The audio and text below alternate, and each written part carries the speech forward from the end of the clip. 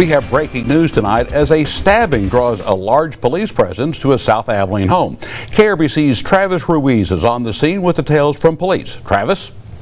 David, good evening. A relatively normal Thursday night right behind me near South 14th and Butternut, but just hours ago, a scene filled with about one dozen cops. Tonight, here are the latest details that we know directly from police.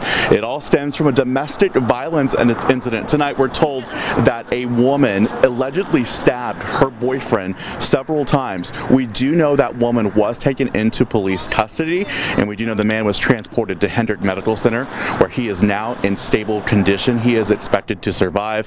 As for the identity of that suspect, the girlfriend, we do not officially know this. Police say all of this remains under investigation. That's all we have from South Abilene. Travis Ruiz, KRBC, Abilene's local news.